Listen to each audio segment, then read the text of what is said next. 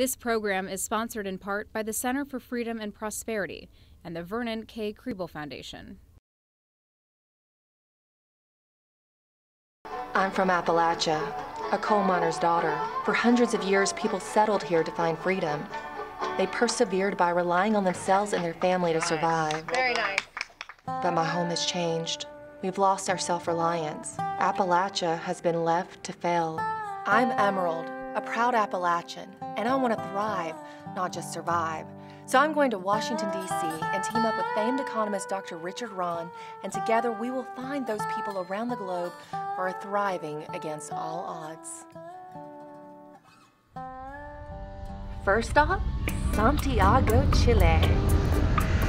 Founded in 1541, this now booming metropolis has served as the country's capital since colonial times. Thanks to Santiago's steadily growing economy, the city is home to a beautiful rising skyline, a thriving theater scene, urban development, dozens of shopping centers, and a restaurant scene to rival any metropolitan city around the globe. It's also home to the tallest building in Latin America. And it's inspiring because, in just a relatively short amount of time, it is shedding its status as a poor country and has emerged as a developed country a country brimming with individual success stories, individuals who have benefited from policies of economic freedom that allow ordinary citizens of this country to dream. Carolina Echenique was inspired to start her unique brand of snacks, Tika Chips, right in her garage. I had a dream. I look at my husband, I, I just look at him straight to, to, his eyes and I say, okay, I'm gonna start all over. I'm gonna do this healthy snack called whatever that is going to be with different vegetables from Chile, all natural and colored, and I don't know, I'm gonna start this adventure. Needless to say, Carolina outgrew her garage and has had to greatly expand her original team of just three employees. I just thought it was going to be a cool product, really good, and I don't know, everyone was going to need it or have it close to their homes in little stores. But now we are in more than 3,000 points of sale in Chile, mm -hmm. and uh, we're expanding all over. We're, we're, exporting to 12 different countries. This allowed us to, um, to employ a lot of people all over the world, and this is just free trade.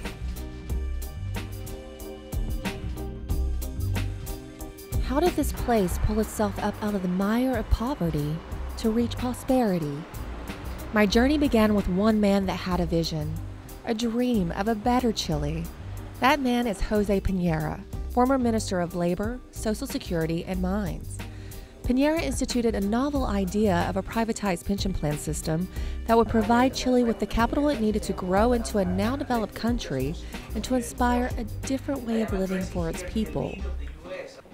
It was very important, uh, Emerald, at the very beginning in 1975 and the later years, to do a set of coherent and quite radical free market reforms.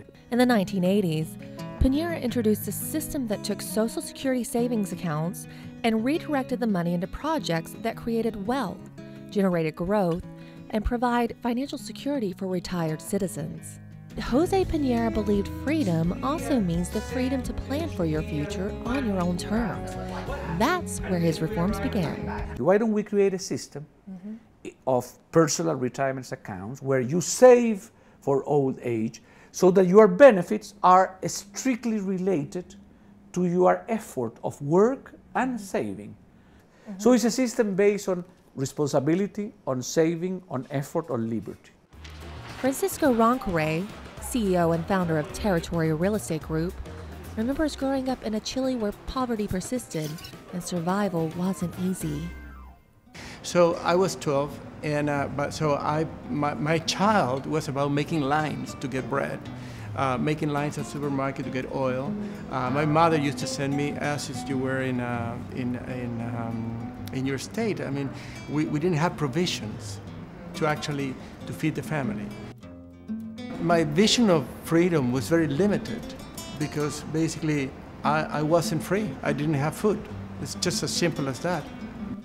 Most realized that prosperity to Chile would come out of a freedom, economic freedom.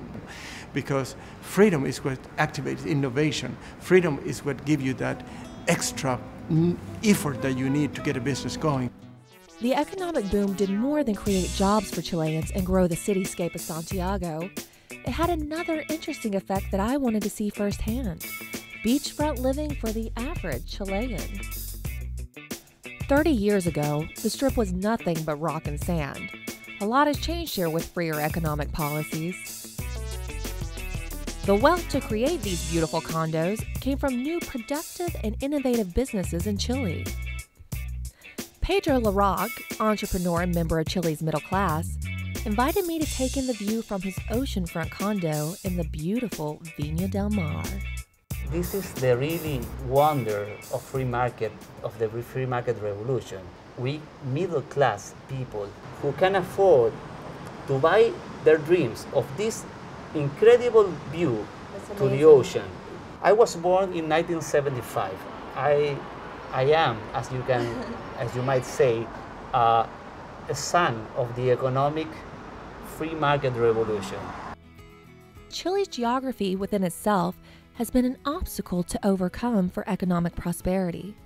A long, narrow country, about twice the size of California, it has an average width of only about 110 miles, with very arid desert in the north and rough mountainous terrain in the south. It has extreme natural events, volcanic eruptions, violent earthquakes, and tsunamis. In fact, to understand how far Chile has come, you need to know where it came from. Just 40 years ago, Santiago was a very different place. Almost half of all Chileans lived below the poverty line. Inflation was at 150%. Full democracy was restored in 1990. Economic reforms were begun in the early 1980s, and the country went from one of the least economically free to one of the most economically free. Now, the average Chilean retires with more than the average American.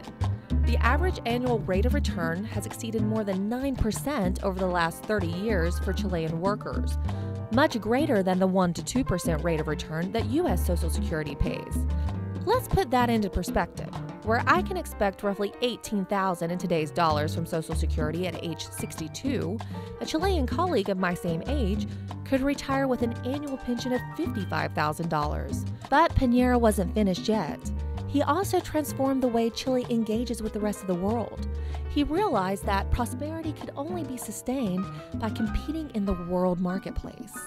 We began with opening the economy to free trade lowering and eliminating import tariffs, import quotas, regulation, allowing Chile to both import the best products from all over the world, at the same time export in order to get the dollars to buy the imports. With its unique geography and a climate described as being midway between California and France, Chile is a perfect location for agriculture in general.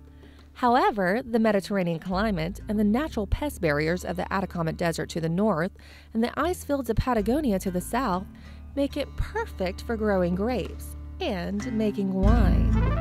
The wine, in a way, became a serious business in the second half of the 19th century. In the 1980s, and uh, most of the companies started looking outside Chile. The economy was not that big to justify so many companies. Most of them Santa Carolina is one among them, and we may be an example of how, how to grow outside, but we start growing in many different countries out, outside Chile.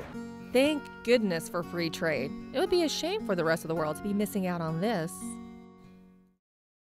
The name Chile itself is most commonly accepted to be derived from the native Aymara word Chile, meaning the land where the earth ends. But there is no end to the hope and warmth that I have found in this country. But finally, it was time to head back to Santiago to wrap up my time here in Chile. As I prepared to return home, Dr. Rahn and I talked about all I had learned here in Chile over a nice outdoor lunch in the Chilean sunshine. The key reasons Chile has succeeded are first of all the rule of law with honest judges, strong protection of private property, basically free markets, largely free trade, relatively low tax rates, fairly low levels of government spending, reasonable regulations, and a stable currency. Pretty simple. Yes. Through innovation, Chile has emerged from the shadow of poverty to become a leader in Latin America, with economic lessons that could well be applied here. Despite its unusual geography and troubled past, this country is full of vibrant, inspiring, and warm people and has declared itself as improbably successful.